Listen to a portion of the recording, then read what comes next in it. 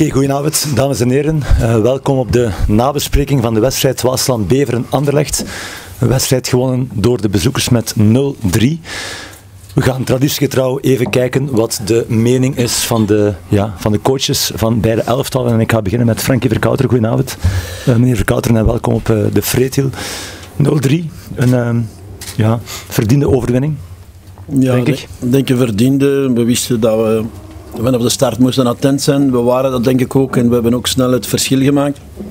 Daarna uh, hebben we een beetje ons eigen slaapgewicht misschien niet gedaan wat we moesten doen. Minder tempo, minder uh, druk naar voren. Is, uh, ja, is was terug in de match wat kunnen komen en bleef het uiteindelijk tot de 0-2 een wedstrijd. Maar ik denk dat er toch duidelijk verschil was in niveau en dat een heel verdiende overwinning is. Ik ben ook tevreden over de prestatie van sommige jongens, ook tevreden over de ploeggebeuren en de ploegmentaliteit. Als je ziet naar, het moment van de strafschop toe, dat, dat sommige spelers het elkaar gunnen, dat dan een andere mag trappen en scoren. Dat dat heel belangrijk is naar het uh, groepsgebeuren toe.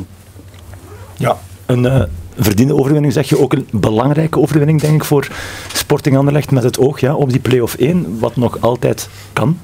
Ja, het kan. Eh, we, we, moeten soms eens naar de anderen kijken. Dus gisteren hebben we dat heel even gedaan. En we zullen dat naar de volgende wedstrijd, wedstrijd toe ook doen. Maar het is vooral bezig zijn met onszelf. En, en zorgen dat wij het maximum halen. En dan hopen dat we, dat we kunnen halen wat we willen halen. Maar vooral eerst naar ons eigen kijken. Ja, zit Anderlecht nu in de, in de vorm die je eigenlijk enkele maanden geleden al wou hebben? Nee, ik denk dat we nog beter kunnen en moeten. Ook, uh, dat zal ook nodig zijn uh, om te behalen wat we willen behalen. Maar ik denk dat we, wel op de goede weg zijn en dat er elke week uh, ja, toch een, bijdrage is die positiever is dan de week ervoor. Op een paar uitzonderingen na, maar dat zijn natuurlijk ja, momenten die kunnen gebeuren of die kunnen voorvallen. Al proberen we die zoveel mogelijk te vermijden. Oké, dankjewel. Frankie Verkouteren. Ik ga even de microfoons verplaatsen om bij Dirk Gerard te komen, coach van Waasland Beveren. Ja, Dirk, um, gevochten denk ik, maar niet genoeg om het Anderlecht echt uh, moeilijk te maken. Ja, ik denk dat dat uh, heel duidelijk was. Ehm, we hebben ze vorige week zien spelen. Daar zat toch al heel veel schwung in. En ehm, als wij dan hopen om uh, de groep opnieuw wat leven in te blazen en je ziet dan gisteren dat Mechelen die drie punten pakt en dan weet je van, uh, ja, die kunnen volgende week al uh, bij manier van spreken uh, Anderlecht definitief uitschakelen. En misschien zal dat wel doorspelen in de kopjes van de spelers. Maar daar heb ik vandaag bij de start van Anderlecht niets van gemerkt. Die waren met veel goesting begonnen. Een hele goede en een hoge balsnelheid, veel circulatie, waarbij dat de bal op bepaalde momenten voor ons ongrijpbaar was en uh, waar wij achteruit moesten. En uh, we hadden natuurlijk langer gehoopt om die nul te kunnen houden en telkens te kunnen prikken. Maar het doelpunt die wij, die wij uh, achter acht minuten, denk ik, al tegenkrijgen, is ja, een positionele fout waar wij nogthans deze week heel veel aandacht aan besteed hebben en ook op beelden aangetoond hebben. Maar ja, soms in de wedstrijd uh, gebeuren er dingen die, en dat is misschien ook met stress te maken of ook met individuele kwaliteit. Maar wij pakken in ieder geval dat doelpunt uh, zonder achter, achteraf heel veel kansen tegen te krijgen. Uh, maar wij maken ook in aanvallend opzicht weinig klaar. Ik denk de eerste helft, als ik me niet vergis, Lokonga nog een keer een shot uh, en dan een beetje harrewar voor doel, zo juist voor de rust. Maar echt niet voldoende om, uh, om aanspraak te maken. En zoals uh, Frankie zegt, Anderlecht heeft het tempo wel laten zakken. Dat is voor ons altijd iets gemakkelijker als het tempo wat lager ligt, want er schuilt toch wel wat kwaliteit bij de tegenpartij en we weten onze positie in, in de rangschikking. de tweede helft met goede intenties begonnen. Uh, ook wat meer balbezit, uh, ik denk wat gretiger, wat hoger kunnen spelen.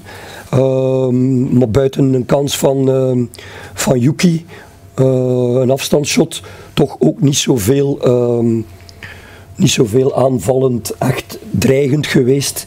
Uh, waarvan dat je zegt van, uh, we hebben de kansen laten liggen. Dat was dus niet zo. En uh, dan is het wachten ofwel op die 1-1 en krijg je misschien een ommekeer, ofwel maken ze de 0-2 en dat is ook gebeurd. Opnieuw een infiltratie, misschien te vermijden.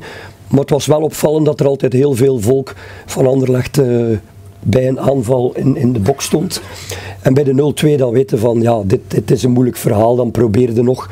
En we hebben ook met de wissels geprobeerd om aanvallend wat versterking te brengen, om toch nog de wil thuis en de moed misschien daar wanhoop om iets te tonen en iets te doen. En zeker de moed niet te verliezen naar volgende week toe.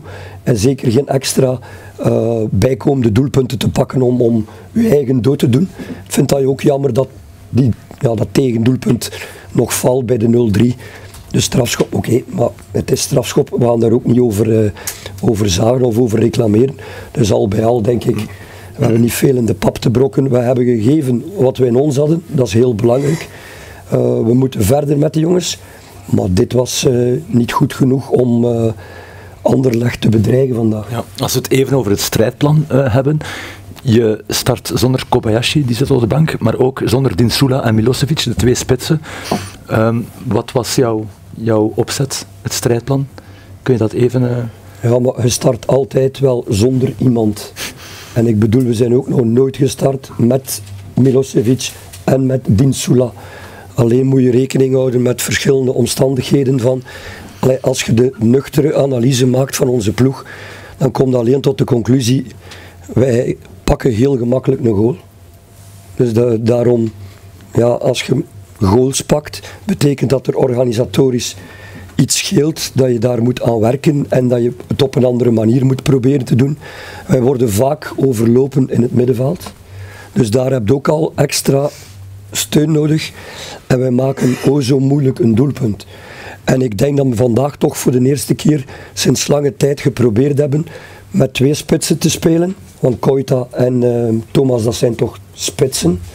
Uh, met snelheid en hopende met een goede organisatie en uh, de snelheid van die twee om Anderlecht toch regelmatig pijn te doen in defensief opzicht. Maar dan ziet dat er zoveel metier zit in de ploeg dat wij daar niet toe gekomen zijn. Maar er was in ieder geval een plan. Ja. Heb je ondanks deze uh, 0-3 nederlaag toch positieve dingen gezien? Met het oog op die ja, komende twee finales, mogen we wel zeggen? Ja, ik heb eh, deze week al heel veel uh, positieve dingen gezien van een groep die echt nog wil. En die er wil voor gaan en die keihard gewerkt heeft deze week. Uh, weliswaar in moeilijke omstandigheden met weer en terreinen en dergelijke, maar daar wil ik mij niet achter wegsteken.